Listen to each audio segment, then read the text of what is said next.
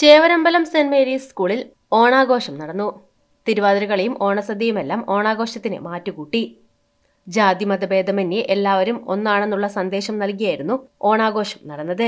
Principal sister Ancy ഓണ സന്ദേശം നൽകി. രശ്മി പൊതുവാൾ ശില്പ തുടങ്ങിയവർ സംസാരിച്ചു.